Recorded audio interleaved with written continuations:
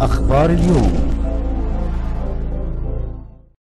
غادر الفريق محمود حجازي رئيس أركان حرب القوات المسلحة صباح اليوم متوجها إلى اليونان لحضور فعاليات المرحلة الرئيسية للتدريب البحري الجوي المشترك ميدوزا 2015 كما يعقد رئيس الأركان خلال الزيارة لقاء مع كبار المسؤولين في القوات المسلحة اليونانية. يتناول تطورات الأوضاع على الساحتين الإقليمية والدولية وزيادة مجالات التعاون المشترك بين القوات المسلحة لكلا البلدين.